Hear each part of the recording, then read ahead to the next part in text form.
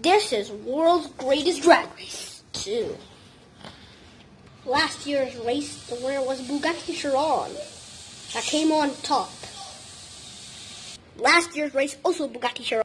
But this world's greatest drag race, there is some car that might defeat it. So, sorry everyone, but the Bugatti Chiron is not going to come on top this race. This Lamborghini has proven itself to beat Bugatti Chiron. This is going to the greatest drag race too. Lamborghini wins. So this year's drag race, some car beat the Bugatti Chiron. It is the Lamborghini. The Bugatti Chiron was overpassed by Lamborghini.